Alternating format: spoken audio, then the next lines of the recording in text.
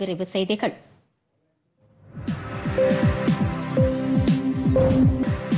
சென்னை தேனாம்பேட்டை மண்டலத்திற்கு உட்பட்ட நொச்சிக்குப்பம் பகுதியில் தடுப்பூசி போடும் பணிகளை அமைச்சர் மா. சுப்பிரமணியன் நேரில் ஆய்வு செய்தார். வீடுகளுக்கே சென்று தடுப்பூசி செலுத்தும் திட்டத்தின் கீழ் பல்வேறு பகுதிகளிலும் மக்களை நேரில் சந்தித்து தடுப்பூசி போடப்பட்டு வருகிறது. தமிழ்நாடு குடிசை மாற்று வாரிய குடியிருப்பு பகுதியில் சாலையோரம் கடைகள் வைத்து விற்பனை செய்வோருக்கு கொரோனா தடுப்பூசி செலுத்தும் பணியை ஆய்வு செய்த பின்னர் செய்தியாளர்களிடம் பேசிய அவர் தமிழகத்தில் ஒருவர் கூட தடுப்பூசி போடப்படாமல் இருக்கக்கூடாது என்பதற்காக வீடு தேடி தடுப்பூசி போடும் திட்டம் மத்திய அரசின் உதவியுடன் சிறப்பாக செயல்பட்டு வருகிறது என்று கூறினார்.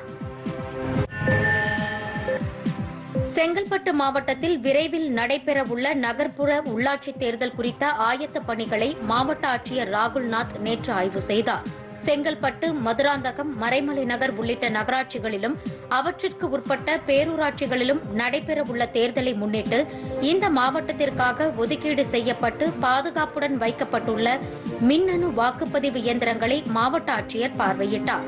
பொறியாளர்கள் முன்னிலையில் அங்கீகரிக்கப்பட்ட அரசியல் கட்சியினர் பங்கேற்ற மாதிரி வாக்குப்பதிவும் நடத்தப்பட்டது. பல்வேறு கட்சிகளின் பிரதிநிதிகள் இதில் பங்கேற்றனர். பேரிடர் காலங்களில் மேற்கொள்ள வேண்டிய பாதுகாப்பு நடவடிக்கை முன்னெச்சரிக்கை மற்றும் மீட்புப் பணிகள் குறித்த ஒத்திகை கிருஷ்ணகிரி மாவட்ட பேரிடர் மேலாண்மை துறை மற்றும் தீயணைப்பு மீட்புப் படைத்துறை சார்பில் நடைபெற்றது. வடகிழக்கு பருவமழை தீவிரமடைந்துள்ள நிலையில் முன்னெச்சரிக்கை நடவடிக்கையாக உயிரிழப்பு ஏற்படாமல் தடுக்கவும் பாதுகாப்பு மற்றும் மீட்பு குறித்த விழிப்புணர்வை ஏற்படுத்தவும் நடைபெற்ற இந்த ஒத்திகையில் தீயணைப்புத் துறையின் மாவட்ட அலுவலர் மோகன்குமார் உள்ளிட்டோர் பங்கேற்றனர். தண்ணீரில் அடித்து செல்லப்படுவோரை காப்பாற்றுவது தொடர்பாகவும் ஒத்திகை நேரடியாக அவர்கள் செய்து காண்பித்தனர்.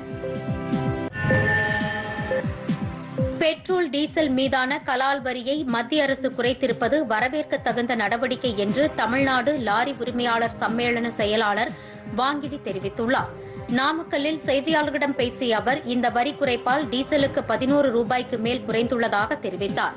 பல்வேறு மாநிலங்களில் மதிப்பு கூட்டு வரி குறைக்கப்பட்டதால் டீசல் விலை மேலும் குறைந்துள்ளதாகவும் தமிழக அரசும் அத்தகைய நடவடிக்கையை எடுக்க வேண்டும் என கேட்டுக் கொள்வதாகவும் அவர் கூறினார். மத்திய அரசு பணியிலிருந்து தமிழகம் திரும்பிய அமுதா ஐஏஎஸ் ஊரக வளர்ச்சித்துறையின் முதன்மை செயலாளராக நியமிக்கப்பட்டுள்ளார். பிரதமர் அலுவலக கூடுதல் செயலாளராக பணிபுரிந்து வந்த அவரை தமிழகத்திற்கு பணியிட மாற்றம் செய்ய வேண்டும் என கோரிக்கை விடப்பட்டதைத் தொடர்ந்து மத்திய அரசு பணியிலிருந்து அவர் விடுவிக்கப்பட்டார். இதேபோல் நிதித்துறையின் கூடுதல் தலைமை செயலாளராக இருந்த கிருஷ்ணன் தொழில்துறையின் கூடுதல் தலைமை செயலாளராக பணியிட மாற்றம் செய்யப்பட்டுள்ளார்.